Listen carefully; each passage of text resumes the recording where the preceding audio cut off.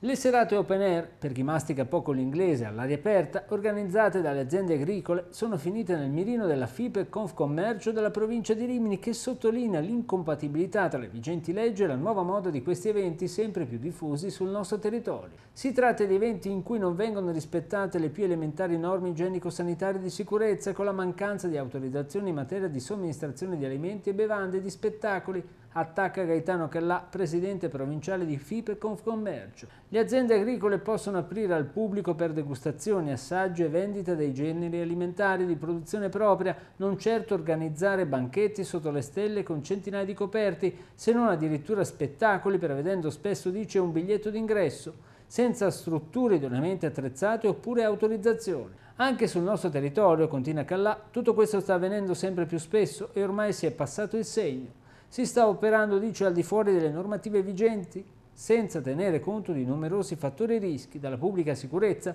si pensi ad esempio ad afflussi e deflussi, a quella alimentare con la preparazione e somministrazione di cibi effettuati in ambienti non idonei e con cucine spesso insufficienti per il servizio erogato, fino all'igiene pubblica con la mancanza di servizi igienici adeguati in rapporto alla numerosa clientela, rischi di contaminazione degli alimenti per l'assenza delle necessarie strutture di copertura, nonché pedane e superfici lavabili. La possibilità, aggiunge Callà, di offrire ai visitatori un assaggio della produzione con conseguente vendita dei prodotti sta diventando dunque un pretesto per poter fare ben altro. Da parte di FIPE e Confcommercio possiamo dire, conclude, che non staremo a guardare, non riteniamo giusto questo doppio pesismo che purtroppo ci vede sempre soccombere. È arrivato il momento di far valere i nostri diritti.